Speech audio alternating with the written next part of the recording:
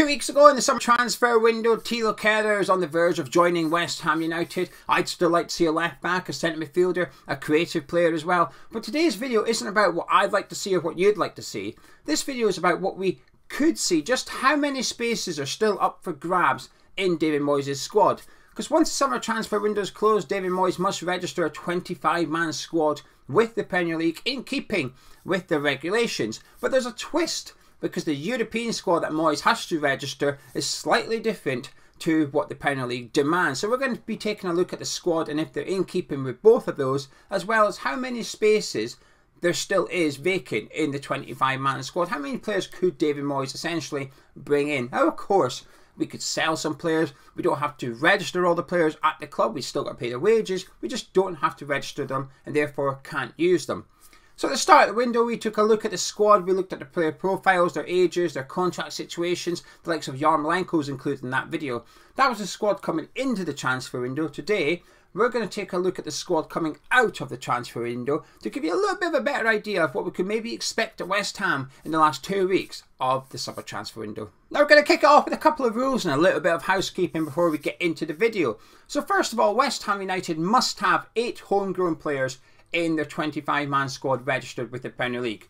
A homegrown player is somebody that has spent three years between the ages of 15 and 21 at an English FA club. Now, they don't necessarily have to be English. The most famous example I can give you is probably Gael Clichy when he came through Arsenal's academy. He was French, but yet he was considered a homegrown player because of where he trained. Also, it doesn't include British players automatically. Robert Snodgrass was again somebody that people perceived as homegrown, but he wasn't actually because he's all his training as a youngster was up in Scotland. So we need eight of those. If we are missing one, if we only have seven, it means we're only allowed to register 24 players. For every homegrown player missing, you deduct a space that you can actually register with the Premier League. Also, under 21s don't have to be registered, but they can still participate in the competition. So for West Ham, the likes of Harrison Ashby, Jamal Baptiste, Callum Marshall, Armstrong Oko-Flex, they will not be registered in David Moyes' 25 man squad for the Premier League, but Moyes can still call upon them if they wish. Now for a little bit of housekeeping. There's a few players that Moyes will have to register if he wishes to use them. There's just a debate among the fan base as to whether they will actually be used or not, or whether they might get loaned out or sold between now and the transfer window.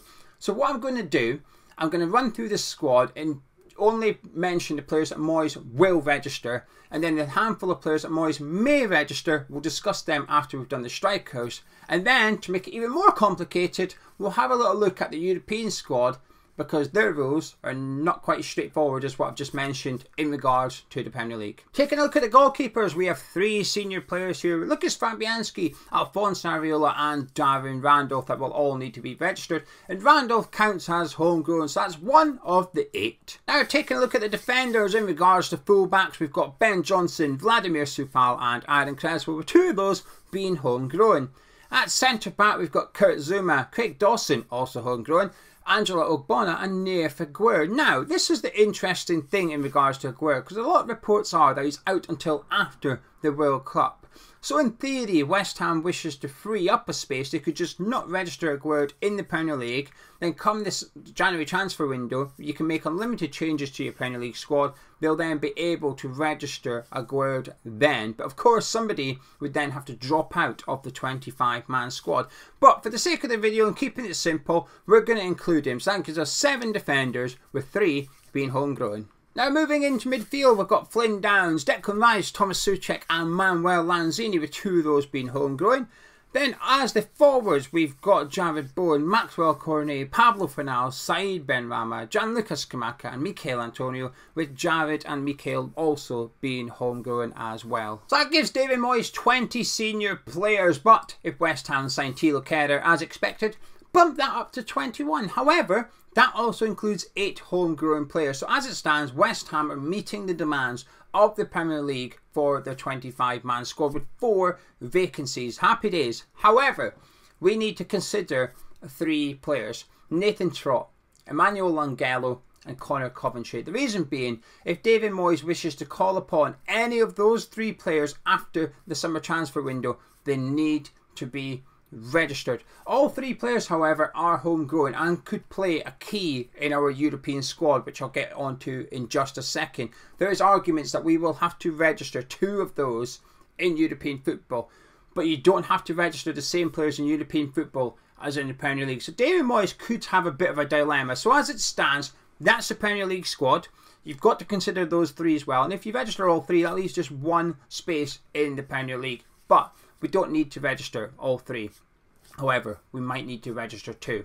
Let me explain. Now, when it comes to the European squad requirements, there's some similarities between that and the Premier League. For example, they allowed up to a 25 man squad. Certain under 21 year olds don't have to be registered within the main squad but can still participate in the competition. Eight homegrown players. However, there's a twist with that eight homegrown players. When it comes to the Premier League, as long as they're registered with an English FA club, happy days. But when it comes to UEFA club competitions, out of that eight, a minimum of four must have been registered at that club's academy. So you're allowed four players that were with an English FA club but not West Ham United. So, for example, Michail Antonio, Craig Dawson, Aaron Cresswell, they all count towards that. But four players have to be with West Ham United for three years between the ages of 15 and 21. So that includes Declan Rice, Ben Johnson, and that's it. Now, this is why there's a little bit of a dilemma for David Moyes with Longelo, Coventry, and Trott, because obviously Moyes can register two of those in the European squad to make up the numbers. Now, you don't have to have four players that have been with West Ham for, during those ages and meeting that clauses, but what it does mean you lose a space. So West Ham, in theory, registered Johnson, Rice, and Coventry, but loaned out or sold Longelo and Trott. So we only had three. That extra one we're missing means that West Ham can only register 24 players in their European squad. So there's a bit of a dilemma here for David Moyes in regards to deciding the future of those three players. Does he register them and then use them in European football, or does he not register them but sacrifice a place in this squad as well? Hopefully, that makes sense. Now, just to quickly remind you, as I do in every European preview video, but we still get asked the questions, the under 21s can still participate in the European squad, providing they've been at West Ham United for two years continuously or three years with a maximum of a one year loan spell. So, the likes of Armstrong Oko-Flex isn't eligible, so that's why he is registered in the main list for Thursday night's game so he can participate. So going forward, if Moyes wishes to use Armstrong Oko-Flex or Ekwah or Callum Marshall in the Europa Conference League squad, he would have to register him in the main list, otherwise they're not eligible. However, the likes of Harrison Ashby and Jamal Baptiste and Dan Chesters, they can play in the European competition without being on the main registration just to make it a bit more complicated for you. So to summarise, West Ham United currently have 20 senior players that have to be registered to participate in the Premier League. 21 if we sign Thilo Kehrer. David Moyes needs to decide on those three youngsters, and let's just assume he chooses to keep around two of them to make up the quota for the European competition. That would give David Moyes a squad size of 23 players, making it just two vacancies for the summer transfer window. Now, I'm going to end with a little bit of an opinion. I know I said I was going to keep it factual. That's all been factual. This bit's an opinion. I wouldn't be surprised to see David Moyes do just that. Register Coventry and one of Longelo or Trott. It's possible that we register both of them and try and sell Darren Randolph because that way Trott takes his place in the senior squad. We're still hitting the quotas and in European competition, we're hitting that quota for the West Ham trained players as well. But my opinion piece is this that I think David Moyes will register two of the three players and that we will not register Aguerd. Therefore, giving Moyes three spaces for the remainder of the transfer window, and we may bring in a short term loan. I'm not mentioning any names, but this is what I expect West Ham to do go after a short term loan for that centre back position so that in January that player goes back to his parent club and we can register Nayef Aguerd then and he just takes the place of the loanee but he wouldn't be registered between now and the end of the calendar year. So he wouldn't be able to play until the 1st of January onwards but with the club not expecting him back until after the World Cup so the first game is on Boxing Day.